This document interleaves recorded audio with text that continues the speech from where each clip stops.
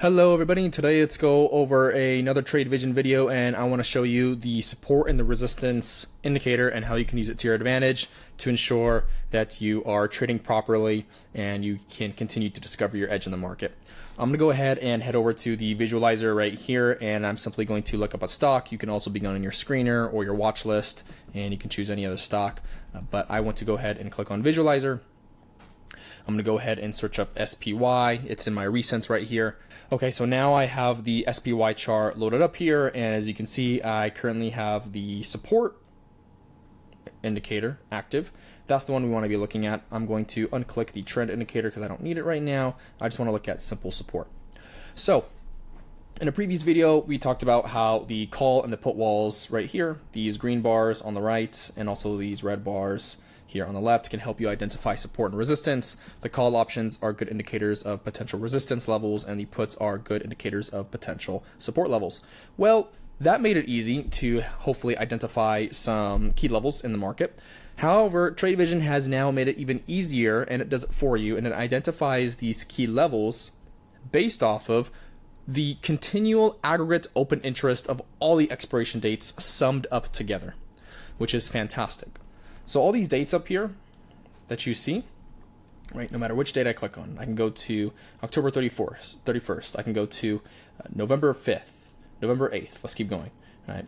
The 29th, 32 days. I can go to the 6th, 39 days and go to the 20th 53 days whatever you choose it's going to give you the strongest resistance levels on the S&P 500 and it'll also give you the strongest support levels on the S&P 500 okay so the goal of this indicator is simply to summarize all of these bars right here, both on the left and the right, and put it into one simple context. One simple context support, resistance, and there you have it. Let's go ahead and look at a different chart. I'll search up AVGO. I believe we did this one in, in one of the last videos of the call and put walls. Let's see where it lines up now. All right, so now it's giving us the biggest key levels here, support resistance at 180 and, or we have resistance at 180 and we have support at, at 140. Okay, seems pretty adequate, honestly, just by even looking at the chart here, right? What happens if I take off the support and resistance? Well, let's do some charting ourselves, right? If I really wanted to, I could really just say, hey, you know what? We have a huge support level around here, or excuse me, a huge resistance level up here, and we also have some supports right around down here, right? You can, you know, it doesn't have to be perfect. It's just definitely more of like a range kind of scenario.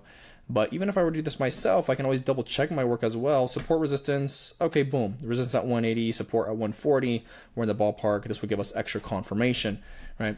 And let's go ahead and try another one. Let's do, let's do IWM, the Russell 2000. So Russell 2000, okay, I'm gonna take these off. All right, so I see resistance up here, and then I see maybe support down here. Let's try it. Wow, look at that.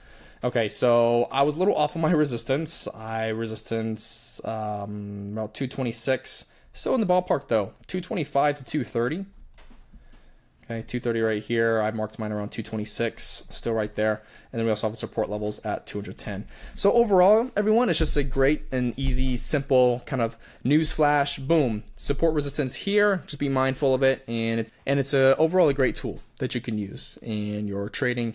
And of course, definitely use some other indicators and you know you can always add this to your process. I wouldn't completely rely on the support and resistance because anything can always happen in the markets but it's still a great tool nonetheless. And it should definitely give you some good, good, great confirmation in your trading and in your processes. Thank you for watching, and I hope you found some great utility out of.